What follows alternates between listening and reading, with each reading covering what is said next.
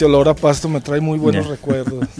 Vemos nuevamente un pórtico o un portal, nuevamente con influencia neoclásica, ¿no? Vemos el portal con el por- eh, frontón triangular.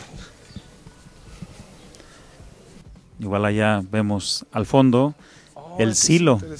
el es. silo de, de la hacienda. Era como un eh, granero. es como un granero. Que según yo lo que estaba escuchando, porque de las haciendas, que es de los mejores conservados en la actualidad. Y aparte, bueno, el, el- ahora el, el uso que tiene también es muy característico. Según me comenta, estaba yo por ahí viendo, pues ya pues lo han convertido en bibliotecas, han sido salones, pero dicen, pero no habíamos visto una capilla. Y eso es lo que en un momento también lo Sí. podremos ver. Sí, este, luego, luego las, las pilas bautismales en algún momento de la historia de la arquitectura salen de la iglesia y son octagonales, salen de la iglesia eh, y había visto también la posibilidad de que este tipo de, de construcciones se convirtieran eh, en la capilla o en la zona específica para, la, para los bautismos. Pero si una capilla no, no, no me había tocado. Ahí se ve la barda, cómo iba. Sí, Porque era otro patio central allá. Ok, esa barda que está interrumpida. Ahí sí se interrumpió la barda. Pero era un patio donde ya nos tocaba ir a desgranar. Mm, Ahí en el patio se Sí. acomodaban todas las, recogían las, las mazorcas. las mazorcas. Y íbamos, nos tocaba desgranar ahí en nuestra rueda pues, de elotes, o lotes. Sí, olotes. Oh, entonces también le tocó la cosecha, Sí. pues. Esos se llaman contrafuertes, que son los elementos que coadyuvan para que el muro no se pandee. Hoy pues utilizamos castillos, ¿verdad? Incluso con acero. Pero en aquel momento se utilizaban como, como soportes. No traen un balón por ahí, no. Bueno, este es un campo que nos gusta mucho, este está muy bueno cercano aquí entre las secciones. Eh, como decía hace un momento en las Olimpiadas, pues aquí se juegan los, los grandes partidos, las finales. Aquí este campo tiene mucha historia. Y bueno, pues también aparte que es un campo muy cómodo. eh, no está tan grande, no es como el campo reglamentario, pero aquí sí este, pues nos la pasamos muy bien. Ya después allá, un costado se ve donde está la alberca por allá. Entonces después de un buen partido, un buen chapuzón. Claro, claro. Y bueno, estas construcciones que también son de, eh, de la época original de la hacienda, ¿verdad? Eso, eso precisamente lo estamos viendo en, en los programas de los martes. Estamos aprendiendo a leer iglesias. Entonces estamos hablando precisamente de cómo las etapas constructivas las podemos identificar por el cambio de materiales, cambio de colores, cambio de técnicas constructivas.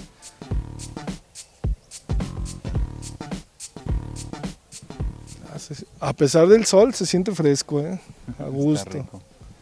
Igualmente también de, eh, los padres, eh, ya de las, de las generaciones pasadas, de esos árboles que estamos viendo, Sí. esos eucaliptos, pues también ya les tocó plantarlos a ellos.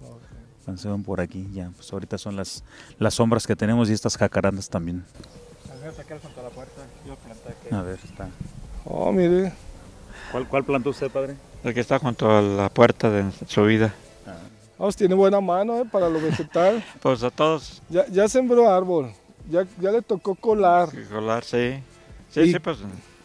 Y Pero preparar épocas- cuántas generaciones. Y bueno, pues aquí estamos ahora viendo la sección, actualmente es del postulantado, aunque de ordinario es la sección de filosofía. Abajo están, bueno, está la biblioteca, los salones y arriba están ya las habitaciones y dormitorios. Oh, ok. Y bueno, la capilla. Y ahora en unos momentos pues vamos a acceder aquí a este silo, conito, le, le llamamos la capilla del cono, Oh, que es este como está ahora eh, preparada para el uso que se le da.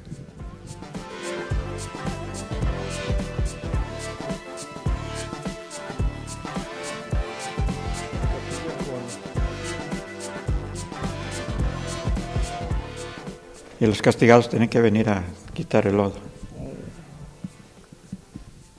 Lo difícil era lo de arriba. Sí, lo difícil era lo de escaleras. arriba, es baja- subir la escalera, bajarla y...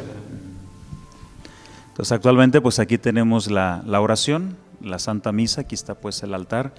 Eh, en una remodelación anterior el altar estaba en la parte de aquí del centro y había un Cristo que, que colgaba. Oh, ya. Y ya esta es una remodelación ya más, bueno, la última que se ha tenido y es que está ahorita ubicado de esa manera. Igualmente pues vemos eh, nuevamente la imagen de María Niña, ¿verdad? que es la que nos acompaña y bueno, el Señor San José. Y el del cuadro es Tomás de Aquino. Es este San Luis María Griñón de Montfort, Ah, que es otro de nuestros santos patronos. Bueno, María Niña es la, la patrona principal, pero también tenemos como patronos a San Luis María Griñón de Montfort, San Pío X, el Señor San José y Santa Teresa del Niño Jesús.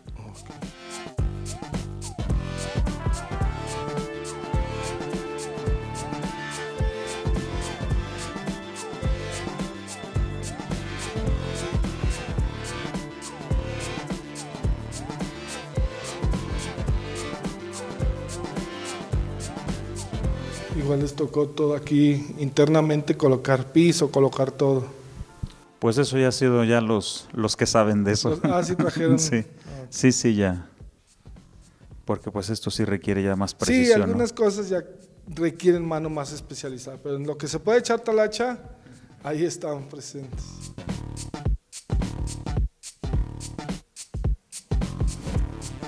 De hecho, esta capilla, bueno, a mí me gusta mucho. Este, aquí, bueno, ciertamente siempre se siente la cerca. Aquí como particularmente como que estamos más cerquita. Y me acuerdo que cuando vine la primera vez a este seminario, una convivencia, en el 94, en marzo, eh, nos, nos- nos trajeron aquí un momento de ahí estaba la hora santa y estaba expuesto el Santísimo y el ver el Cristo colgado y así como que a mí me, me llegó mucho. Sí, claro. La, la inquietud así como que pues sí de, de seguir en esta en esta vocación y entonces por eso siempre venir como esta capilla a mí me, me, me recuerda mucho ese momento y también me, me ayuda mucho también para los momentos de oración Quizá aquí fue el llamado, vaya. pues a lo mejor un O poquito ya más más fuertecito Oh, ok. Dos, tres seminarios. Dos preseminarios. Así como yo me eché ocho de primaria. bueno, se- Sí. finalmente confirmó todo, toda sí, la sí, sí. vocación. Qué bien. Me han tocado ya dos alumnos que estuvieron aquí. Uno es Ricardo, ay, no me acuerdo cómo se apellida.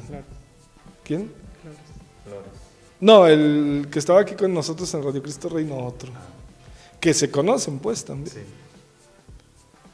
Oh, qué bien. Sí, es, es interesante. Eh, me atrevo a ir haciendo el equiparable en cuestión arquitectónica, en cuestión, vamos a llamarlo hasta cierto punto mundana para los que no conocemos todos, todos estos mensajes eh, de Dios. Es interesante que, que una iglesia te transporte. Es interesante y muy importante que una iglesia te arrope, te acoja. Porque si no, no se- vamos a creer que no está el llamado, vamos a, no vamos a disertar esta, este mensaje que nos está enviando la deidad. ¿sí? Eh, me tocó experimentar por ahí en una búsqueda que tuve eh, tres religiones más.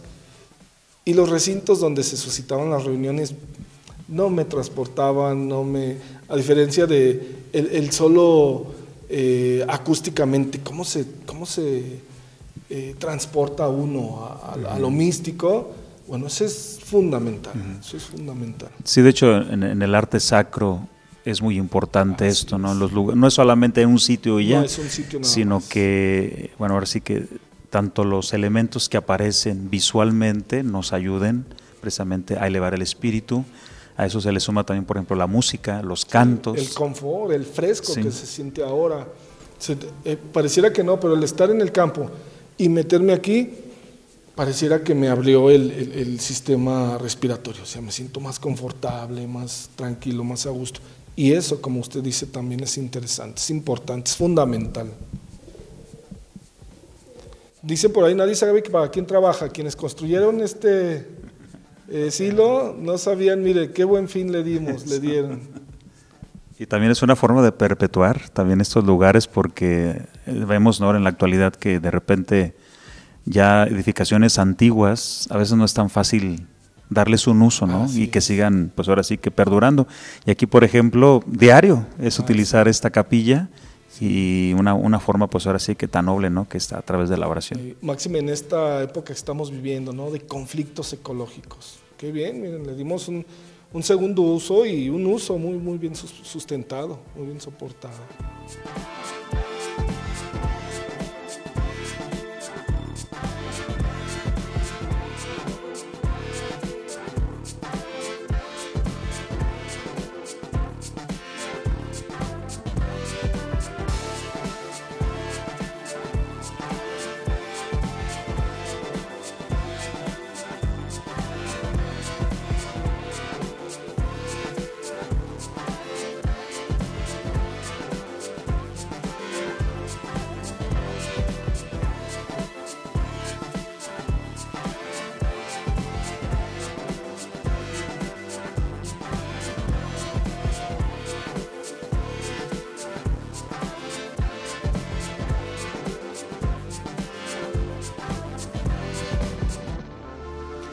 En algunos momentos este jardín se le ha llamado también el, jardín nuevo, que es aquí pues el jardín principal, este, el, el primer contacto que se tiene con, el seminario.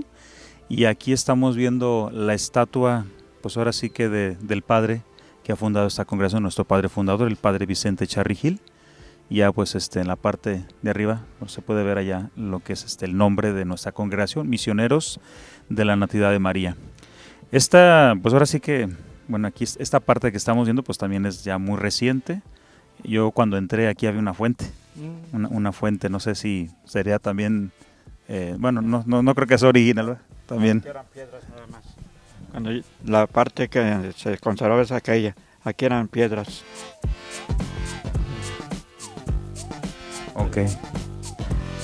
Sí, entonces ya se fue aquí adaptando y pues bueno, aquí está actualmente. Igual eh, nuestro padre fundador, entre otras características, además de ser misionero, pues también es mariano. Entonces por eso lo vemos que siempre trae su rosario. Y no solamente eh, lo traía, sino que lo rezaba con mucha frecuencia, ¿verdad? Al, día tres veces. Y eso también nos, nos ha pedido ahora sí que a sus hijos, ¿verdad? Que también nosotros sigamos eh, con esa devoción, pero también promoviéndolo, ¿verdad? Enseñar también a los demás el rezo del Santo Rosario.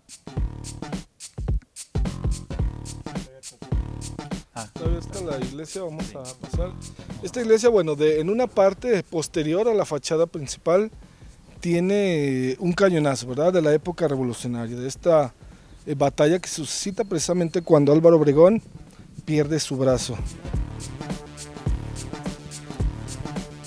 Y bueno, la, la, fachada es muy este, austera en cuestión ornamento. Si nos damos cuenta, solamente está ornamentado el acceso principal y el ornamento nos dicta una influencia nuevamente neoclásica. Lo podemos ver en eh, los frontones, aunque hay un frontón triangular interrumpido. Eh, en su parte superior hay un frontón eh, en media luna también.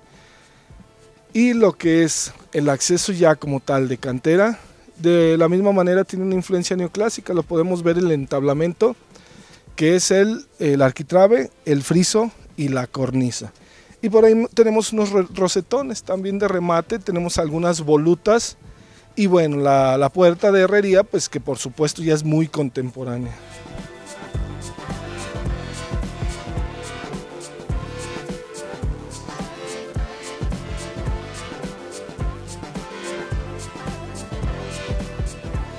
Pues actualmente aquí es la, la parroquia.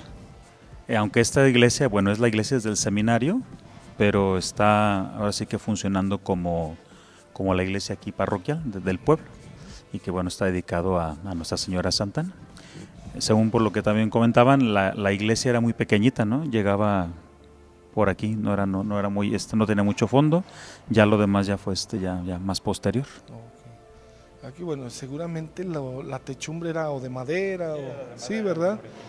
Eh, por, ya tiene esta nueva. Sí, esta esta nueva pues son concretos armados, es una forma muy muy interesante, eh, nos alude a las eh, techumbres eh, de los templos góticos, ¿no? a estas techumbres de, nervadura, muy muy a un estilo regional, muy muy mexicano por supuesto, pero nos alude precisamente a ese tipo de, de recintos, obvio en cuestión iconografía, conforme lo estamos viendo en el programa de Alabarte, pues no puede faltar un Cristo, no puede faltar las estaciones del Via Cruci, eh, no pueden faltar esta, este mensaje que alude al paraíso, que alude al cielo, que alude a la tierra.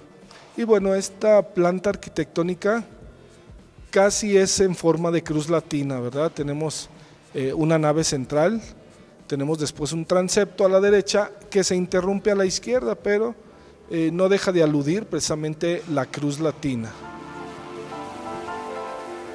Vemos que está en remodelación, están restaurando por ahí. La capilla, una de las capillas.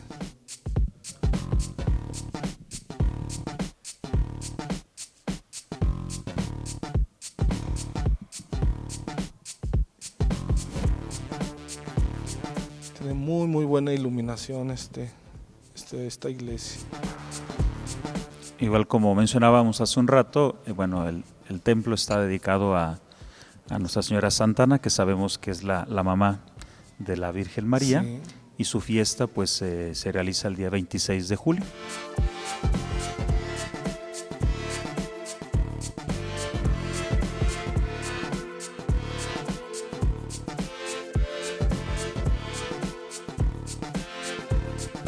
Oh, este mezanín es interesante, es donde está de manera común el coro, ¿verdad? Sí, de hecho también aquí, ahora que se menciona, es el coro, este, pues aquí empezamos nuestros pininos. Ah, en sí, el con coro. la guitarra y, Y con en el coro, sí, aquí las fiestas, este, para María Niña, por ejemplo, fiestas principales, pues desde allá arriba, sí, aquí, mm, aquí empezamos también. Es que es, eh, podemos decir que es una mini ciudad, vaya, en la cual desarrollas tu vida eh, en plenitud, no solamente que, bueno, pues muy de la mano de la religión, muy de la mano de, de una vida crística. ¿Es un, ¿Es un órgano o es...? Sí, ¿verdad? ¿También toca el órgano padre o pura guitarra? Este, no, ese no, todavía no aprendo. ese. guitarra y Guitarra, violín, no. el violín tampoco, nomás, y la flauta, eso sí, También. las percusiones un De la que le poco, llaman las- de pan, Sí, esa, Ah. la flauta de pan. Teclado, el órgano es más complicado, porque también es de pies. Sí, El padre Daniel es el que sí, Ah, él sí, sí, él sí sabe toca, tocar el órgano, ese muy bien. Muy Sí, pues de hecho también aquí este, en algunos momentos tenemos academias también de, de instrumentos. Específicamente para los seminaristas. Sí. A mí me toca ahora dar la de, la de guitarra. Oh, qué bien, bueno. ya. Pero Eh, en otro momento, pone- sí, La vida nos pone en ambos lados. sí. Aunque en otro momento pues también se va a impartir de mandolina, este, igualmente de bajo, eh, el piano, como sabemos, bueno, también como aquí en el seminario, además de cantar en las misas, los coros, también tenemos nuestra estudiantina. Oh, qué bien. Sí, entonces pues ahí de repente tenemos las canciones de influencia española Sí, sí. y también el repertorio pues algunas canciones de, ahora sí que de, de rondalla, ¿no? También. Y aquí pues este nos preparamos y bueno, por eso requieren también los instrumentos.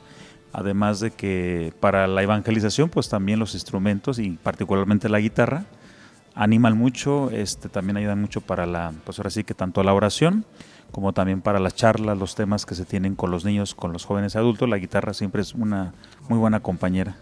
Esta influencia española, padre, que menciona, eh, también se suscita en lo eclesiástico. Vaya, eh, tenemos allá, en vista de que nuestro padre fundador llega de España, tenemos allá como un recinto matriz al que pertenecemos como seminario ya aquí en México o no. Bueno, aquí en nuestra, bueno, la casa central, pues es, es aquí en México y concretamente aquí en León, Guanajuato. Eh, mencionaba el padre Alfredo hace un rato, en, en Madero, 724 no tenemos nuestra casa central. Y ya de aquí pues salimos para las diferentes partes de- del mundo que nos toca, este, pues ahora sí que ir a ayudar. Estamos ahorita en México, también estamos en Estados Unidos, en Puerto Rico, en República Dominicana, en España y en Italia. Ok, Es a donde misionan de cierta manera.